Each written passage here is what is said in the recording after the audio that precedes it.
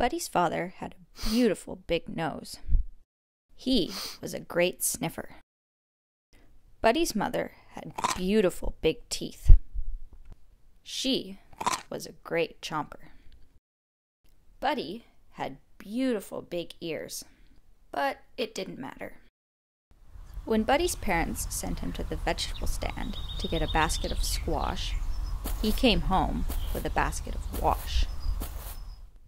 When they asked him to buy 15 tomatoes, he came home with 50 potatoes. Buddy's father said, Listen, Buddy, will you please bring me a pen? Who? asked Buddy. You, said his father. Will you please bring me a pen? A what? said Buddy.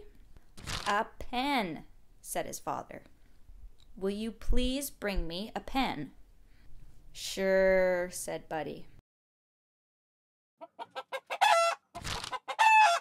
Buddy's father said, Listen, Buddy.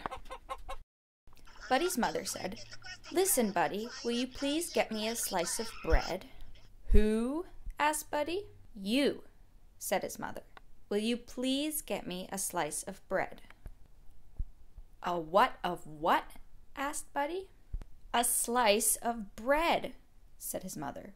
Will you please bring me a slice of bread? Sure, said Buddy.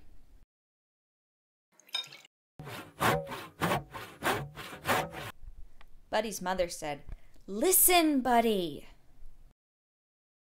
Somehow, Buddy's mind was always wandering too far away from those beautiful big ears. His parents tried yelling, Listen, Buddy!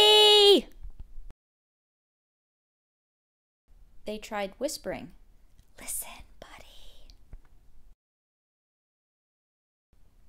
But nothing seemed to work.